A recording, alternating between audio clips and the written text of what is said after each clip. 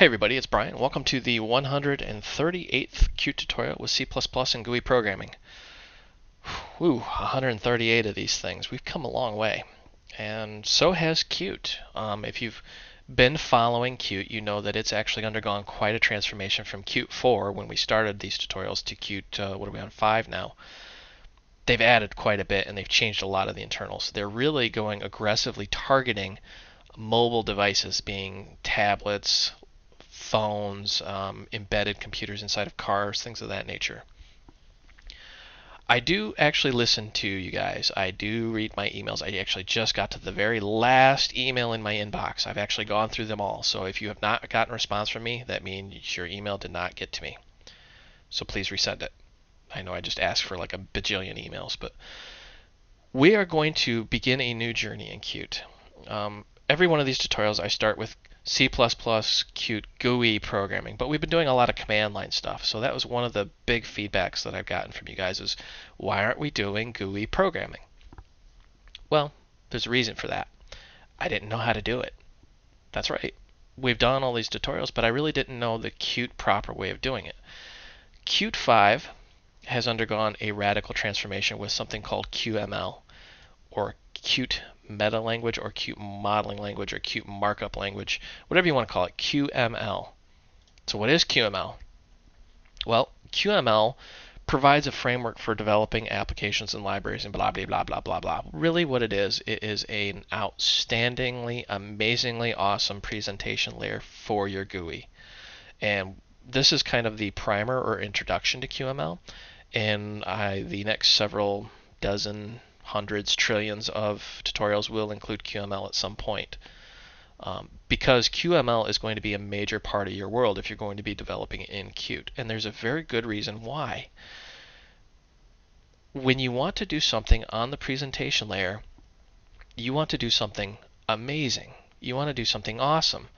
Well, you know, it's great to just drag buttons and things on there, but what if you want to do 3D rendering or show an animation or inline movement or you know, well, QML solves all those problems. Now, if you go to do that with C++, bam, you know you're going to be, you know, importing libraries, you're going to be interfacing with classes, you're going to have lots of bugs, you're going to have interfacing problems, you're going to have compile time errors, you're going to have, you know, runtime errors, you're going to have floating point processing problems, you're going to have, you know, hung pointers and, you know, rogue memory loss and all this other stuff that makes you just want to go screaming back to Java or Python. Well, QML takes care of all of that. Kitty, what the heck? You are making like the weirdest noises. Sorry, this cat's like freaking out. So, what is QML? We've talked about it. You've listened to me rant for a few minutes here. QML is, I want to say personally, a radical departure from anything that we've talked about thus far, even though I think QML has actually been out for about, what is it, five, six years? Um, it's new to me, let's put it that way. And if you go out and you go to qmlbook.github.io, that's qmlbook.github.io. I did not write this book. Um, let's see if we can scroll down. The author of this book is Jurgen Brocklid uh, Ranel and Johan Thelin. I very much apologize, gentlemen, if I have just bastardized your names. This book is out on the internet free of charge, and I've personally been reading it. It's amazing so far, but it's not finished. So I would advise you go out there and start reading parts of this book. It's free. Um, and you'll find the bulk of this book doesn't cover the things that we've talked about. They cover, if you look, canvas elements, particle simulation, shader effects, multimedia, etc., etc., etc., JavaScript. Why would they be covering that? Isn't Qt C++? Well, let's just dive on in here. Now, a lot of people don't know this, but my favorite button in Qt Creator is this little examples button and it may change depending on what version of Qt you have. It may change depending on you know what build you have, etc., etc. But that examples button should have examples in there, and you can actually you know pick things like you want this, you want that, whatever. So I'm just going to pick this, and we're going to give a good example of well QML. This is called the planets example. This comes built in with Qt Creator. Um, I didn't write a single line of code. Ooh, Ubuntu had a boo-boo. We're just going to continue on and ignore that. I've actually not run this in Ubuntu, so this may not work, but uh, I have run this in Mac and it worked beautifully. So let's just kind of look at this. This is the standard structure of a QML application. And you can see it's got this mix. There's C++, there's JavaScript, and there's QML. Now, some of you old school programmers like me are going to be going, What is this unholy mess, this abomination? Well, it's actually very elegant and very well done. I think that I want to personally go to the Qt Studios and hug every single developer that has built this because I fought it for a very long time, but once I started learning it, I realized how much time this was going to save me. So when you look at the main or the entry point of the application, you can see it has a Qt quick viewer and then it does a couple different things here, but then it just says set source QRC, meaning it's a compiled resource file, planets QML. What? Planets QML? What's this thing? And it says Qt Canvas 3D examples. So if we go into planets, da, da, da, da, there is a bunch of QML code. Now, if you're looking at this, this looks like a merger of some sort of JavaScript slash cascading style sheet. Well, there's a reason for that. What QML is, it's really a markup language that allows you to find items on the presentation layer and let Qt handle all of the rendering, all the animation, all of the pain in the butt stuff that just drives programmers batty at the end of the day. Now, I'm on Linux, and let's see if this actually compiles and runs. Tick tock, tick tock. This one is a little bit bigger of a project, so it may take a second to compile here. You can just listen to the soothing sounds of my voice while we compile. Now, I should note that the reason why this was created, this being QML, was because they want to work with devices, right? Just make the planets bigger here. So you can see you got Jupiter spinning and all this other stuff. And let me just shrink the planets down. And let's look at the sun. Well, there's the sun. Let's look at Mercury. Eh, Mercury's kind of boring. Let's look at Venus. Sexy Venus, yeah, baby. And Mother Earth. And you notice how it's actually got uh, some rastering going on here, and it's actually bumped. That's how you get that, like the mountains and stuff and you got layers of clouds and the sun's reflecting off of it, and you got the 3D animation. So yes, ladies and gentlemen, this is what QML is designed for. Very quickly, very simply, very easily creating complex animations. And you can see how the moon's actually orbiting the Earth right now. And let's just kind of click through some of these. I mean, look at that. That's beautiful Mars. I mean, look at that stunning detail.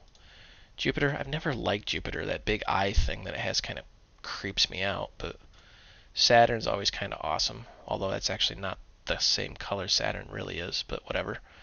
So, and you can do things like you can change rotation speeds and stuff like that. But so what is QML? We've asked this question a couple times. We can see how you have animations. That is how you actually define animations. You just make a simple little inline class here. Um, and they're they're inline classes in that sense, but it's very much hidden. So we're going to close this, and we're going to show a an easier example, something a little smoother. We'll go back to examples here, and let's look at the calculator demo. And let's actually build and run this bad boy. And you see it follows the standard structure of QML. It's got some other stuff, and there is the JavaScript that it's actually using in the background to act as a calculator. Now you may be asking yourself, why are they using this? Why, you know, why JavaScript? Why QML? Why this? Why that? Well, C++ is a very heavy language in the sense that, you know, it takes time to do all this you have to define a variable. You have to make sure that variable type exists. You have to do this. You have to do that. Um, QML intrinsically uses, um, I think it's OpenGL to do 3D rastering and rendering. So you don't have to mess with any of that. It's all built in. They use all this simply because they want to make the presentation layer nice and easy. Let's close that. Whoops. close all this nonsense. So why JavaScript? Well, JavaScript because it's a very expressive, easy to use language.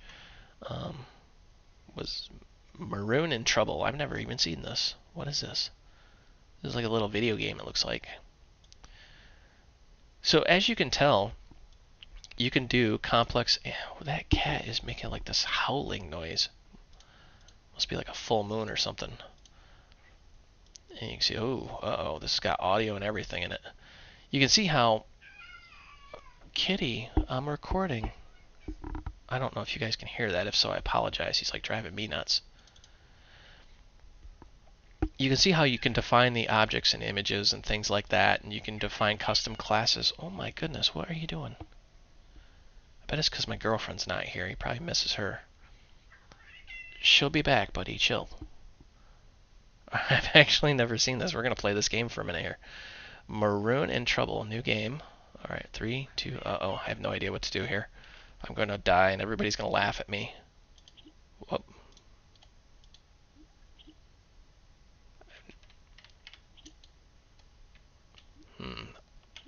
Have no idea what to do.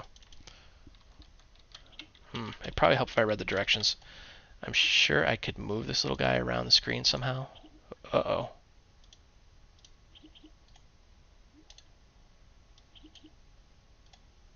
Hmm. Well, as you can tell, I am horrible at video games. Or am I? Hmm. This actually looks like it could be addictive.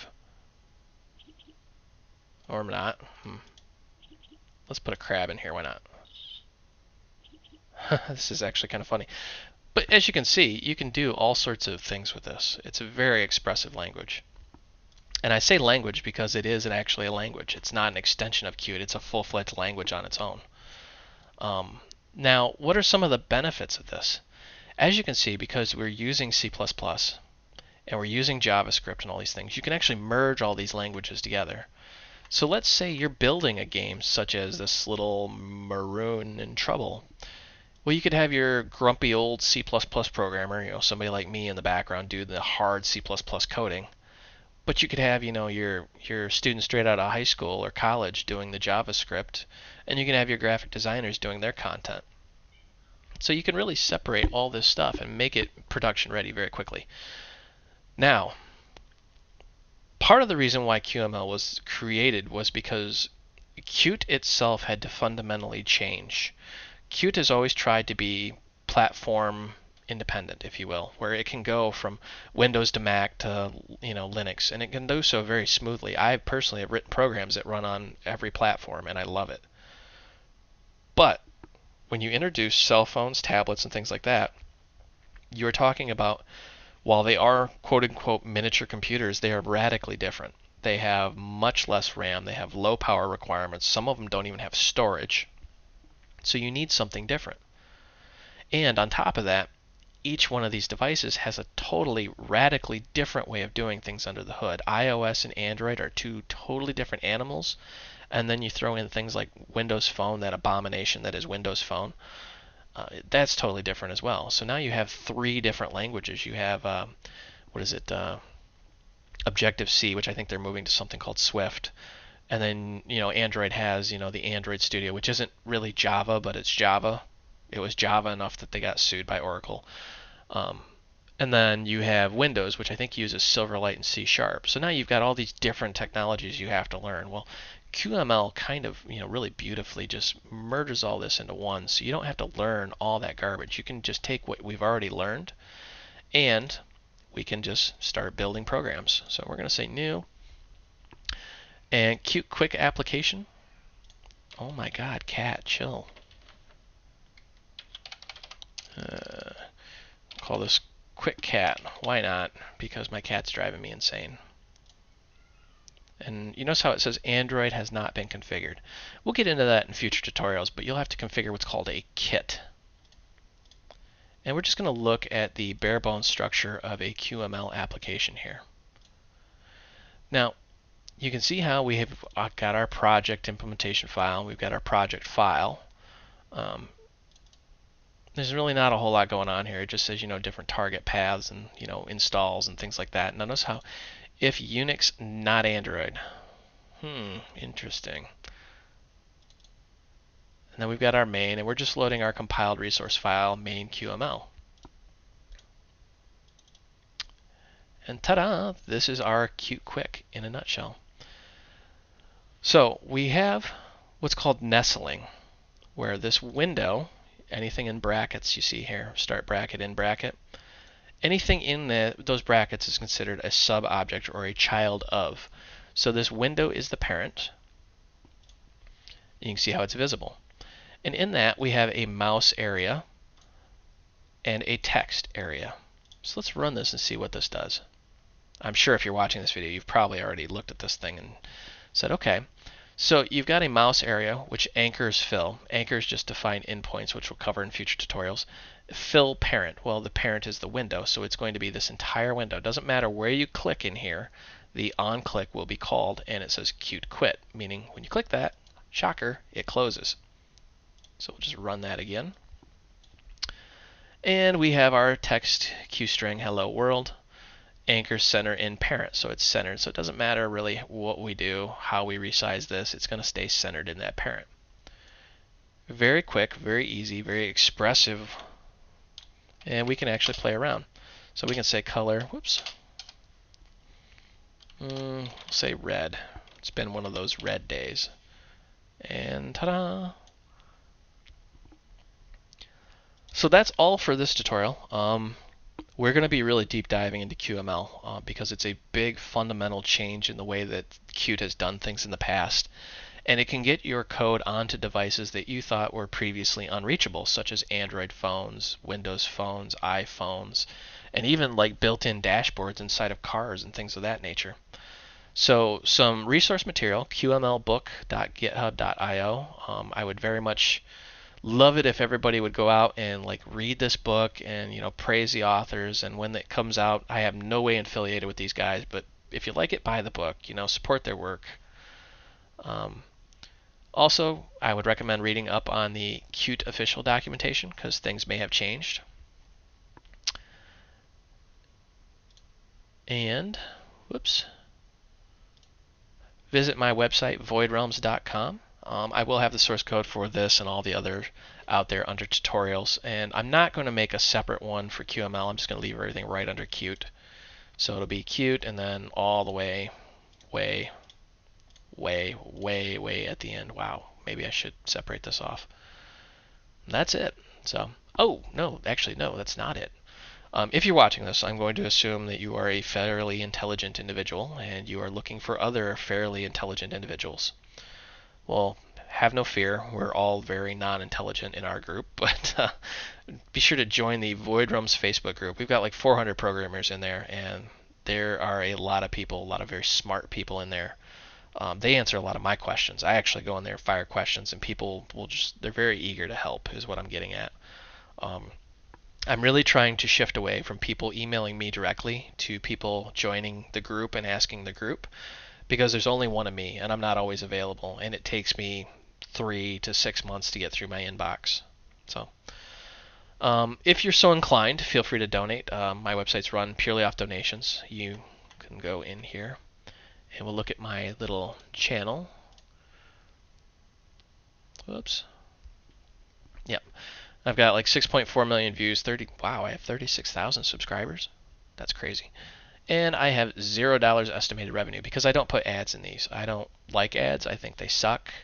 So I feel like if you think this is worth it, donate. If not, don't. But either way, please join the Voidrealms Facebook group. It's free. There's 400 plus programmers in there, and we're all willing to help each other.